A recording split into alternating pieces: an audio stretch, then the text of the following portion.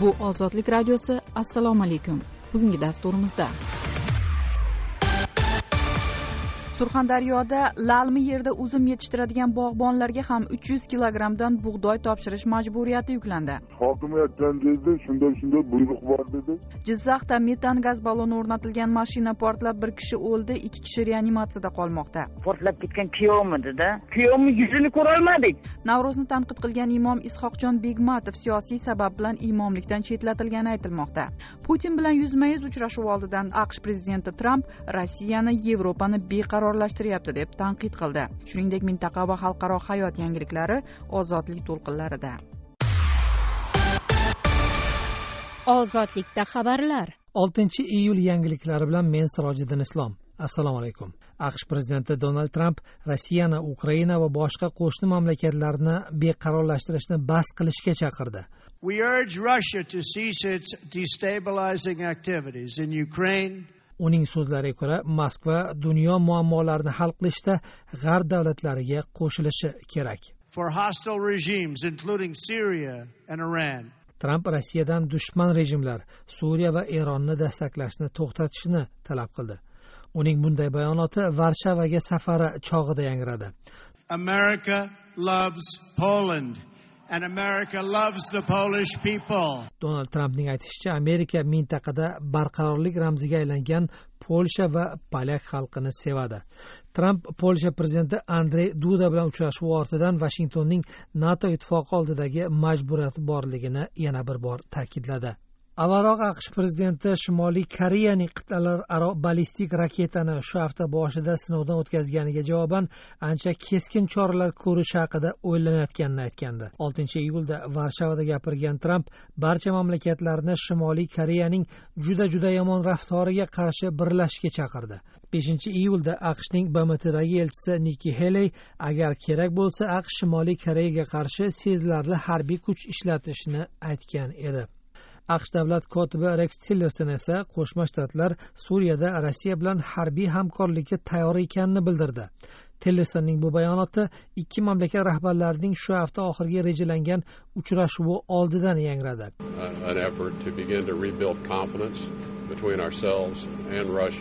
Tillersoning aytishicha qo'shma shtatlar rossiya bilan hamkorlikda suriya uzra havo parvozlariga taqiq qo'yishga insonparvarlik yordamlarini birgalikda nazorat qilish bo'yicha hamkorlik qilishga tayyordir. Agar ikki mamlakat joylarda barqarorlikni o'rnatish uchun birga ishlasa suriya siyosiy kelajagini hal qilishga asos solinadi dedi tillerson ukrainaning ag'darilgan prezidenti viktor yanukovich unga qarshi kiyevda oltinchi iyulda boshlanajak sudda ishtirok etmasligini e'lon qildi. Yanukovich o'z advokatlarini uning ishini sirtdan ko'rib chiqayotgan suddan chaqirib olayotganini bildirdi. Viktor yanukovich ukraina mustaqilligi va hududiy yaxlitligini buzish va rossiya agressiyasini qo'llab quvvatlashda ayblanmoqda. O'zbekiston rossiya rahbarligidagi kollektiv xavfsizlik shartnomasi tashkilotiga qo'shilishni rejalashtirayotgani yo'q. Bu haqda beshinchi iyul kuni o'zbekiston tashqi ishlar vaziri abdulaziz komilov toshkentdagi xalqaro press klubda xalq bilan o'tkazgan jonli muloqoti paytida ma'lum qildi. Kollektiv xavfsizlik shartnomasi tashkilotiga a'zolikni qayta tiklash masalasi kun tartibida yo'q. Kelajakda ham bu masalani muhokama qilish va ko'rib chiqish rejalashtirilmagan deb aytdi abdulaziz kamilov o'zbekiston yalpi ichki mahsulot ko'rsatkichi bo'yicha dunyodagi bir yuz to'qson besh davlat orasida yetmish birinchi o'rinni egallamoqda. Jahon bankining ikki ming o'n oltinchi yil uchun yalpi ichki mahsulot darajasi bo'yicha davlatlar reytingida mana shunday ma'lumot berildi. Reytingda qayd etilishicha o'zbekistonda o'tgan yili yalpi ichki mahsulot oltmish yetti milliard dollardan ko'proqni tashkil etgan. Jahon banki xaridorlik qobiliyati pariteti bo'yicha o'zbekistonni bir yuz sakson olti davlat orasida oltmish birinchi o'ringa joylashtirgan. Reytingda ko'rsatilishicha o'zbekistonda xaridorlik qobiliyati pariteti ikki yuz yetti yarim milliard dollarni tashkil qiladi. Va nihoyat o'zbekistonda yangi tashkil etilgan yoshlar ittifoqi rahbari qahramon qurbonboyev prezidentning yoshlar siyosati masalalari bo'yicha davlat maslahatchisi va oliy majlis senati a'zosi etib tayinlandi. Prezident rasmiy saytida beshinchi iyun kuni mazkur hujjatlarni shavkat mirziyoyev imzolagani ma'lum qilindi. Xabarlar bilan tanishdingiz boshqa yangiliklar ozodlik nuqta org saytida. Ozod video. Bizning video lavhalarimizni ozodlik veb sayfasida hamda youtube odnoklassniki facebook va instagram ijtimoiy tarmoqlarida tomosha qiling.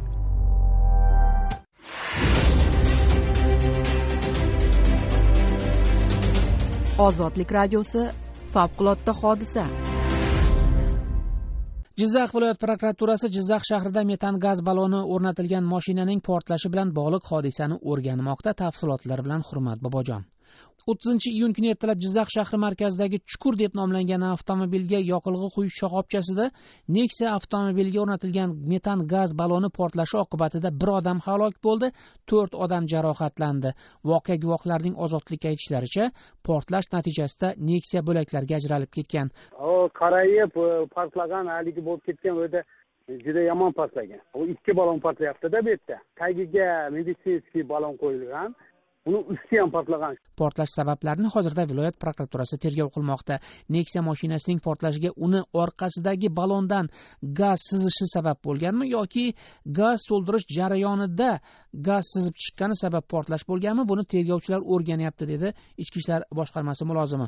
Ozodlik mashina portlashi oqibatida halok bo'lgan odam shu avtomobil yoqilg'i quyish shoxobchasida ishlagan mashinalarga gaz to'ldiruvchi bo'lib e, xizmat qilgan yigirma to'rt yoshli komil toshpo'latov ekanini aniqladi. Marhumning qaynonasi gulnora opa ozodlik bilan suhbatda kuyovining jasadi mayda bo'laklarga bo'linib ketganini aytdi. Portlab ketgan kuyovmidida даже bilasizmi kuyovimni yuzini ko'rolmadik.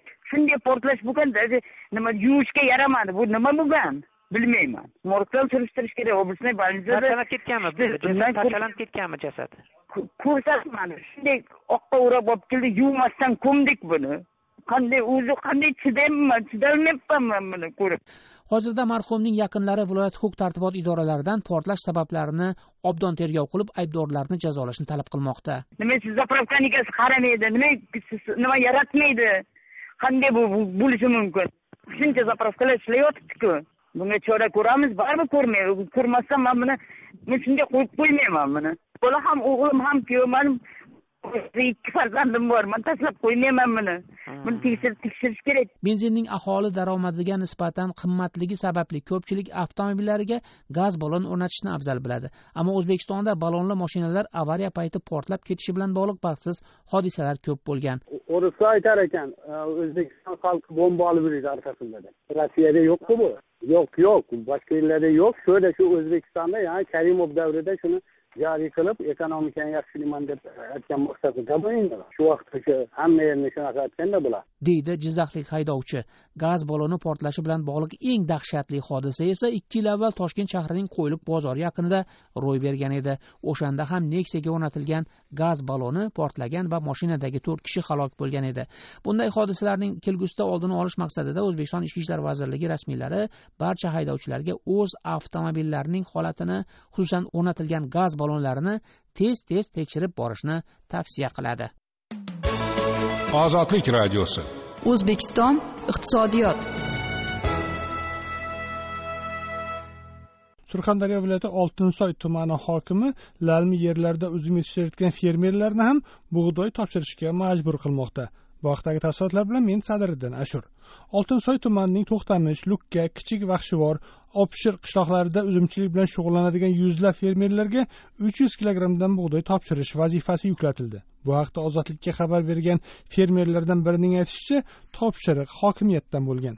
Kecha hokimiyatning to'rt yuz yetmish yetti yetmish to'rt o'ttiz bir raqamli telefonidan menga qo'ng'iroq bo'lib uch yuz kilo bug'doy topshirasan deb aytdi. Kimsiz desam hokimiyatdanman bu hokimning buyrug'i dedi. Men bug'doy ekmaganman bizning xo'jalik uzumchilik desam farqi yo'q. Yerning tagidan bo'lsa ham topshirishing shart. Bo'lmasa yomon bo'ladi deb aytdi dedi fermer. Lukka qishlog'ida uzumchilik bilan shug'ullanadigan boshqa bir fermer esa bu topshiriq bilan tuman fermerlar kengashining raisi qo'ng'iroq qilganini aytdi. O'rol aka degan raisimiz bor. O'zi biz bug'doy ekmaganimizni o'zimiz bug'doyni sotib olishimizni yaxshi biladi. Aka qayerdan topib beramiz? Hali uzum pishgani yo'qki sotib olib bersak desak menga ham hokim shunday topshiriq bergan topib bermasalaring bo'lmaydi deb aytdi deydi fermer. Kichik vahshivor qishlog'ida yashaydigan fermerning aytishicha lalmi yerlarda bug'doy yetishtirishning umuman imkoni yo'q. Endi bilmay qoldim hali kechadan oldingi kun ham birov shunday deb telefon qildi biz hokim aytgan dedi shunday shunday buyruq bor dedi shunday bug'doy berishingiz kerak dedi. Shu so'zni man hech tushunmadim bilmayman dedi. Men aytdim bug'doy ekkanim yo'q bug'doyim yo'q bu yerda uzumchilik bilan shug'ullanaman deb edim orasiga eking dedi. Men aytdim orasiga ekib bo'lmaydi bu yer soat yerda yotaqtash qilib unda tikka emas salba emas. Shunday degan gapni qilishdi indamay o'tiribman hali men aytdim yo'q dedim. Endi dedim bir shami pami bozor mozor bir to'g'ri kelib qolsa bular nima sotsam keyin bozordan sotib olib turamanmi deb o'zimcha fikr qilib shunday qilib turibman boshqa bilmayman aka deydi fermer oltinsoy tumani hokimining o'zini komil deb tanishtirgan yordamchisi fermerlarga bug'doy solig'i solinganidan xabari yo'qligini aytdi hokimiyat tizimidan aka u fermerlarga men har bir fermer bizdan mingtadan ortiq u alohida qo'ymaganman unda xabarim yo'q. Dedi hokim yordamchisi. O'zini oltinsoy tumani fermerlar kengashi raisi o'rol aka deb tanishtirgan mulozim uzumchilik bilan shug'ullanadigan fermerlarga qo'ng'iroq qilib bug'doy topshirish haqida ko'rsatma berganini tan oldi. Ekkan bug'doylarni ekanlar ro'yxatini berganda shuni aytilgan shu topshirsin bug'doyni deb bizga ro'yxati berilgan ekkan bo'yicha. Aka oyog'ini shartnomasi bormi yo'qmi uni aka kattalardan kattalardan qara dedi fermerlar kengashi raisi. Oltinsoy tumani hokimi erkin boyniyozov ozodlikning bir necha bor qilgan qo'ng'irog'iga javob bermadi. Yangilik faktdir. Har qanday fakt savollar tug'diradi o'sha savollar javobini begim kunlarda ozod nazarda tinglang.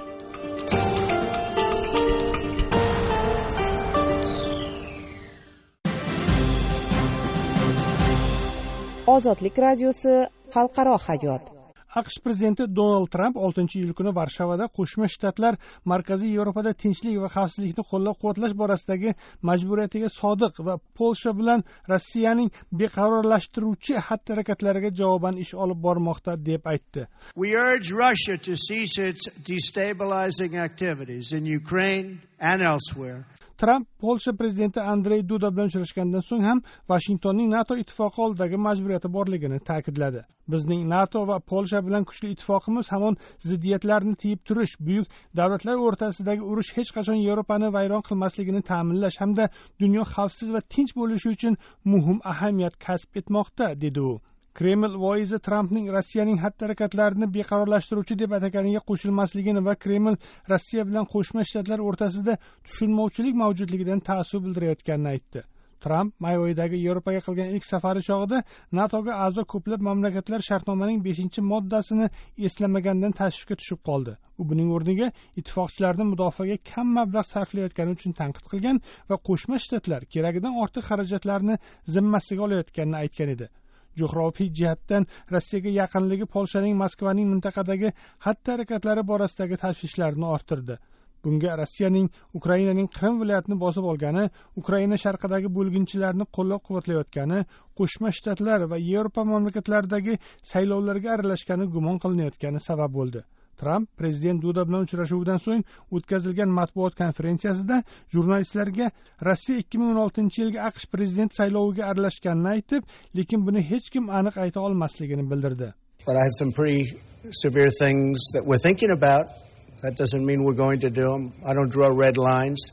President Obama drew a red line, and I was the one that men sobiq prezident barak obama qo'lini sovuq suvga urmadi deb ayta olmayman avgust boshida markaziy razvedka boshqarmasi uni rossiya sayloviga aralashmoqchi yoki jiddiy aralashmoqchi ekanidan ogohlantirgan lekin u hech ish qilmadi. Sababi hillari g'alaba qiladi deb o'ylagan dedi donald tramp tramp ushbu fikrlarni markaziy va sharqiy yevropa mamlakatlari rahbarlari bilan uchrashuv va polsha xalqi oldida televideniya orqali nutq so'zlashidan oldin bildirdi. U oltinchi iyul kuni kechroq g yigirma sammiti zirvasida ishtirok etish uchun germaniyaning hamburg shahriga tashrif buyuradi. Yettinchi iyul kuni esa sammit doirasida rossiya prezidenti vladimir putin bilan uchrashishni rejalashtirmoqda. Tramp uch dengiz tashabbusi sammitida ishtirok etgan mamlakatlar rahbarlarini aqshning suyultirilgan gazini sotib olishga da'vat qildi. Ikki ming o'n oltinchi yilda polsha va xorvatiyaning qo'shma loyihasi bo'lgan ushbu guruhga bugungi kunda vengriya chexiya ruminiya bolgariya estoniya latviya sloveniya va avstriya kiradi. Suriyadagi mojaro va aqshning suriyadagi parvozlar taqiqlanadigan zona tashkil qilish to'g'risidagi taklifi g yigirma zirvasi kun tartibidagi asosiy masalalardan biri bo'ladi. G yigirma zirvasi chog'ida yevropa rahbarlarining trampga qo'shma shtatlarning parijning iqlim o'zgarishiga qarshi kurash shartnomasidan chiqishi erkin savdo va immigratsiya masalalariga oid keskin savollar berilishi kutilmoqda. Navro'zni tanqid qilgan imom ishoqjon begmatov siyosiy sabab bilan imomlikdan chetlatilgani aytilmoqda. Putin bilan jonli muloqotda savol bergan o'zbekistonlik muhojir anvar zufarovga vaqtinchalik yashash huquqi va'da qilindi. Мы получили ответ но не письменный а устный от президента. Jizzaxda fermerlarning rejadan ortgan bug'doyini o'rib olishiga ruxsat berilmayapti. Davlat kambay bermayman kambay berasan o'rib beradi пожалуйста shuningdek mintaqa va xalqaro hayot yangiliklari ozodlik to'lqinlarida. Ozodlik eshittirishlarini youtubeda ham tinglash mumkin kundalik eshittirishlarimizni lotinda ozodlik radiosi deb qidiring. Eslab qoling bizni youtubeda eshitsangiz vaqtingizni tejaysiz. Kundalik lavhalar alohida alohida joylashtirib boriladi. Youtube nuqta com ozodlik radiosi.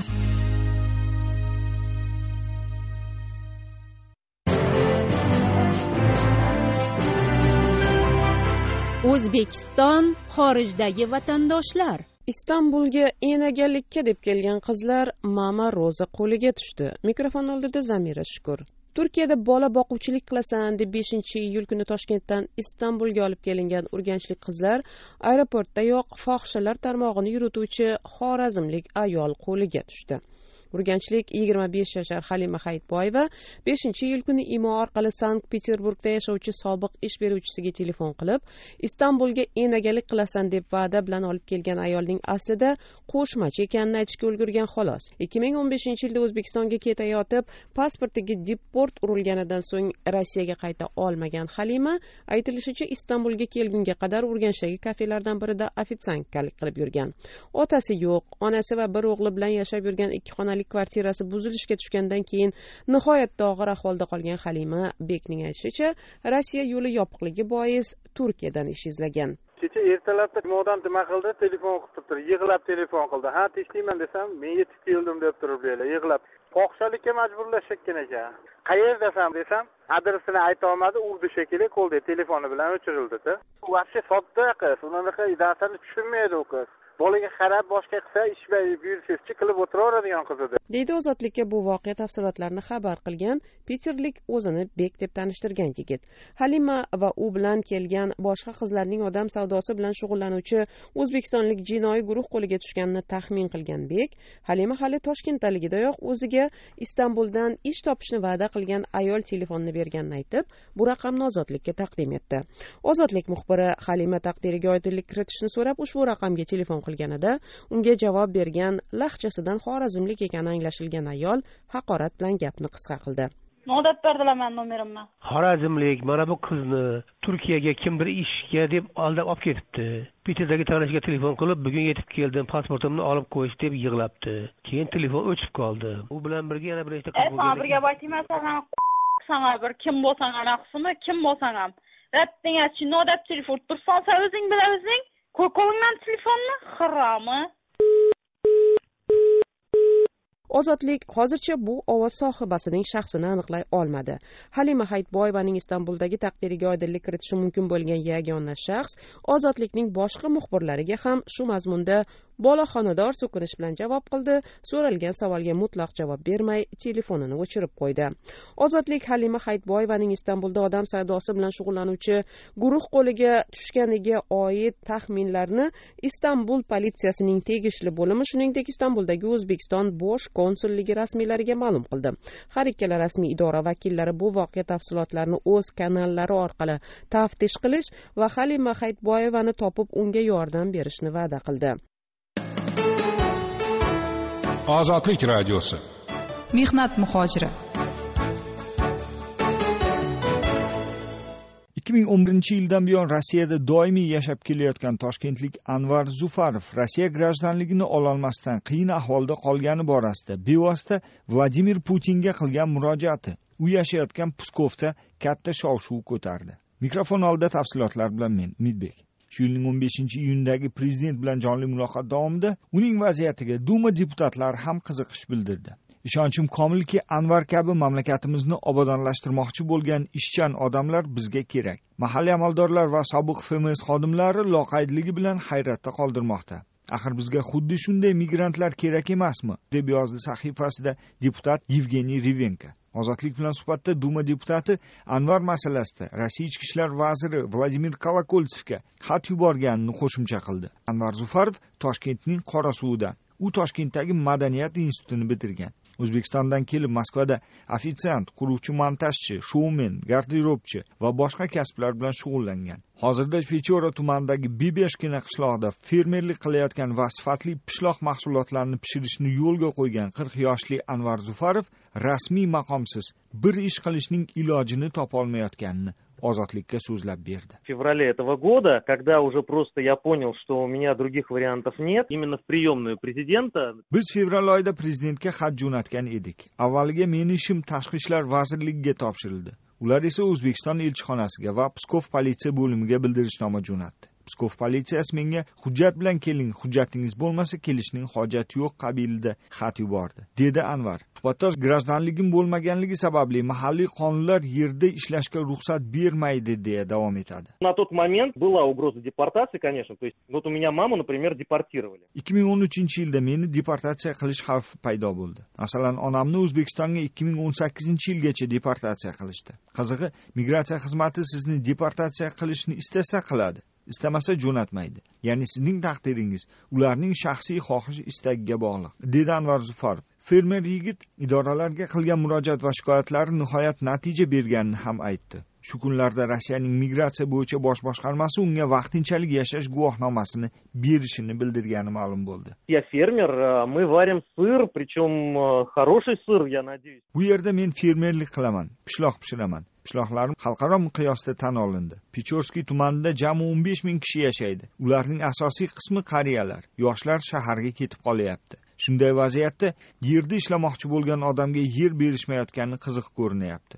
Meni ko'pchilik jurnalistlar abadiy o'zbek deb atashayotganidan xafa emasman chunki men tobat o'zbekligimcha qolaman. O'zbekiston ikki grajdanlik berishga ruxsat berganda edi. Men o'z vatanim pasportini jonim bilan saqlab qolgan bo'lardim.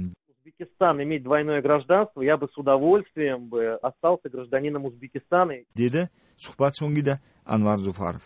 Umidbek, Ozodlik radiosi, Moskva.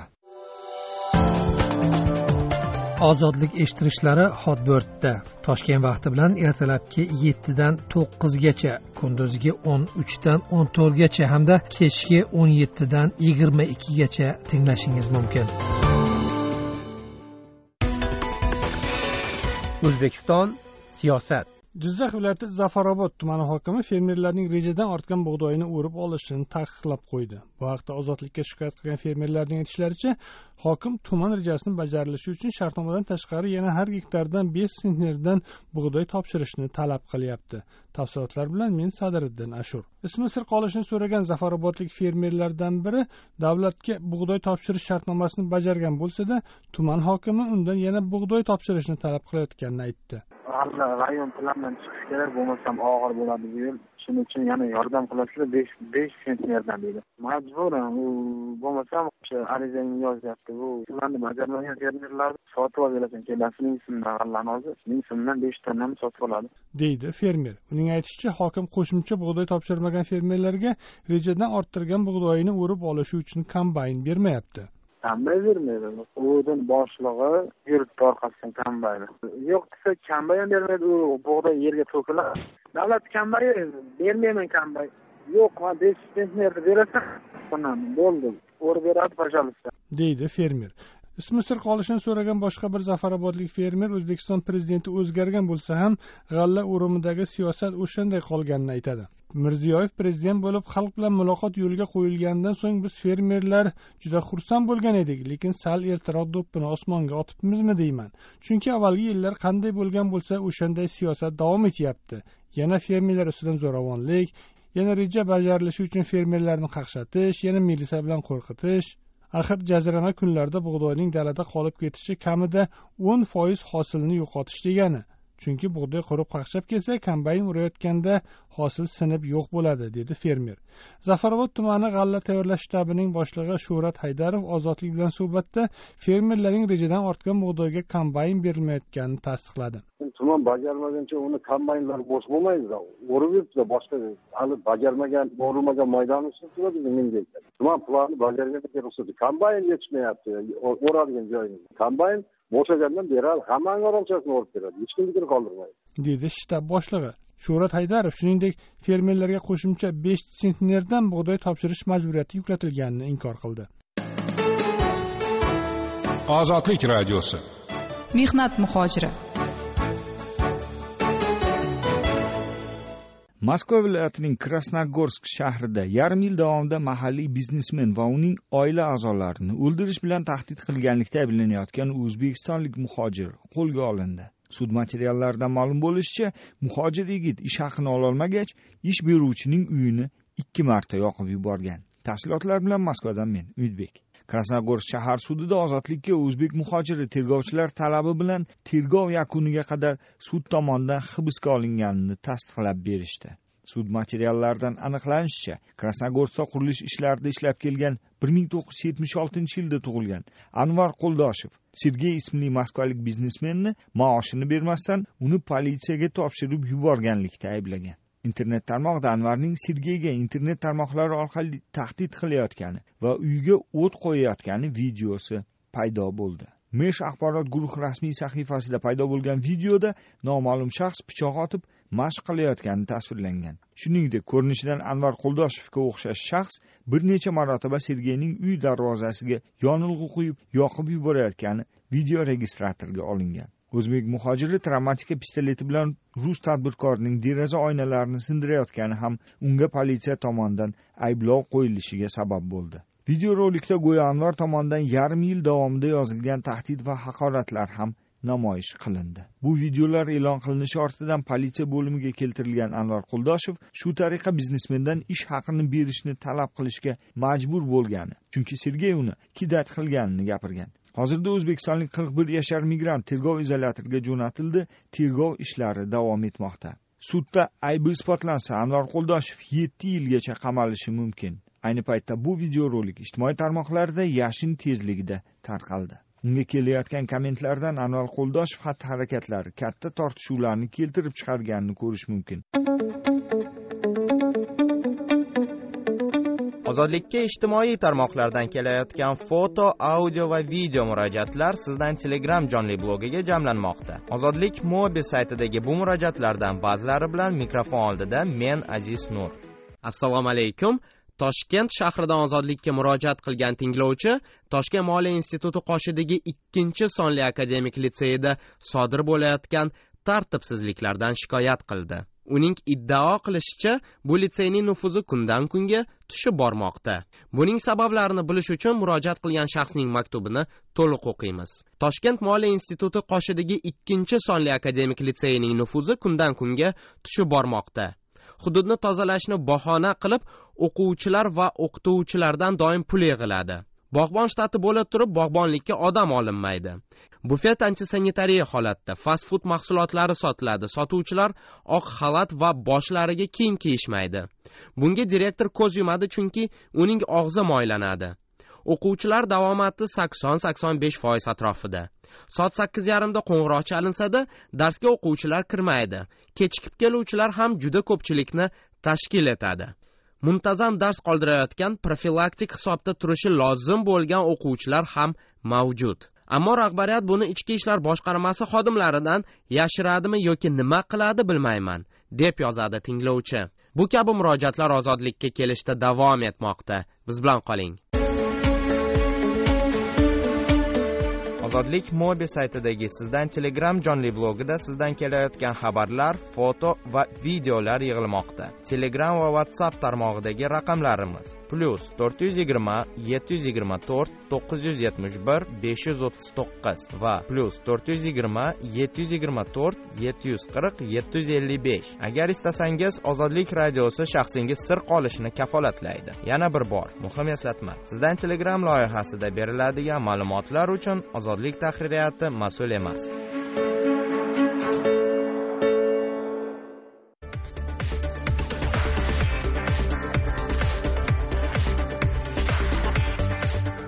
Ozodlikni eshityapsiz? O'zbekiston va jahon yangiliklarini biz bilan birga kuzatishda davom eting. Xayrli kun.